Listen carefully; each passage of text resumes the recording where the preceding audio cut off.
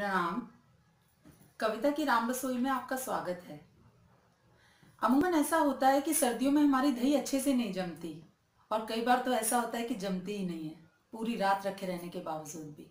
मेरी कुछ फ्रेंड्स थी जिन्होंने मुझे कई बार ये पूछा कि यार हमारी दही या तो कई बार कम जमती है या जमती ही नहीं है। तो आइए हम इस वीडियो में ये देखते हैं कि सर्दियों में हम एक अच्छी दही कैसे जमाएँगे। तो शुरुआत करते हैं।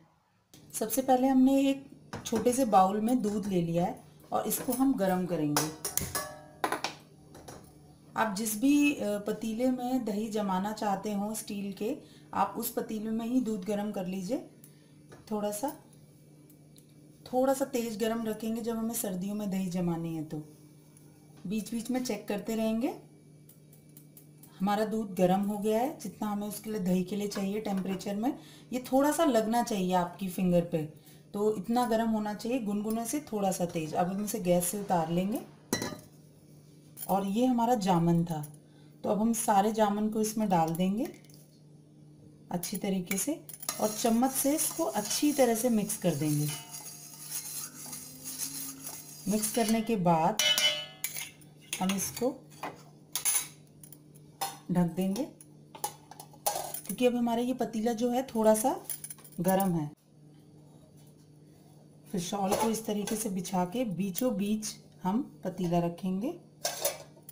और अच्छी तरीके से शॉल को रैप कर देंगे इस तरीके से।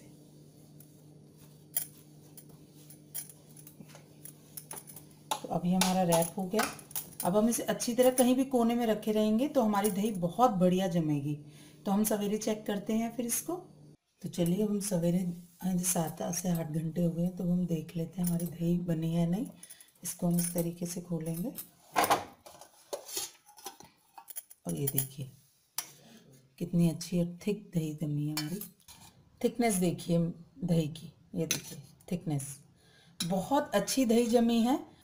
आशा है आपको हमारी वीडियो पसंद आई होगी। तो अगर आपको हमारी वीडियो पसंद आई, इसे मैक्सिमम लाइक एंड शेयर कीजिए। और आपके फीडबैक और कमेंट्स का मुझे इंतज़ार रहेगा। हमारा चैनल ज़रूर सब्सक्राइब कर लें और बेल आइकन पर ज़रूर प्रेस कर लें, ताकि आपको हमारी न्यू नोटिफिकेशन ऐसे ही मिलते रहे। तो मिलते हैं एक अगली नई वीडियो के साथ। जब तक के लिए प्रणाम।